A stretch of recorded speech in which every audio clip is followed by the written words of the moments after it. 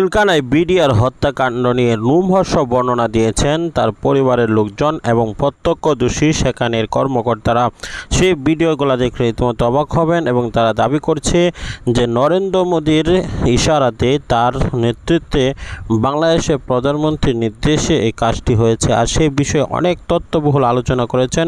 ফেসে যাবে নরেন্দ্র মোদী এবং শেখ হাসিনা। তাদেরকে সর্বোচ্চ শাস্তি ফাঁসি দাবি করে তারা যে বক্তব্যগুলো দিচ্ছে সেগুলো তুলে ধরবো।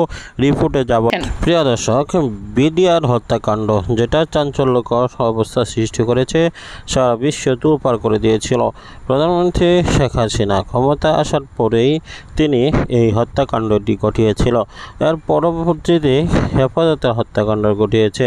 এরপরে তার সামনে যে যারাই তাকে গুম করে দেওয়া হয় এবং তার বিরুদ্ধে আচরণ করা ব্যক্তিদেরকে খুন করে দেওয়া হয় এবং একের পর এক কারাগারে ভর্তি করে দেওয়া হয়।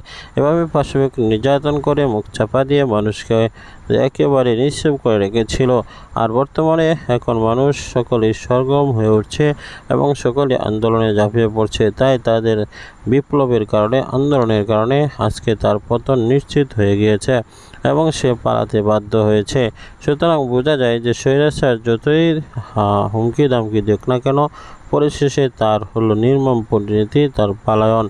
ইতিমধ্যে সে পৃথিবী যতদিন থাকবে তত- ততদিনের মধ্যে সে কিন্তু বাংলাদেশে আসতে পারবে না। বাংলাদেশে আসলেই তার ফাঁসি কার্যকারিতা হবে, সেটা নিশ্চিত। কেননা, ইতিমধ্যে তার ফাঁসির জন্য একেবারেই মঞ্চ সাজিয়ে দিয়েছে জনতা।